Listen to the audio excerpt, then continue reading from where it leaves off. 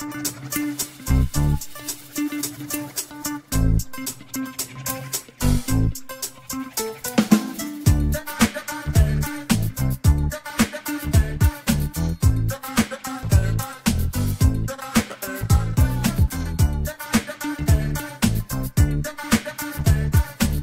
growing up, you know, having dwarfism, you know, me and my mom, my brother, you know, I've been stared at all my life. I had to deal with attention, going public places, being pointed at, stared at, you know, made fun of.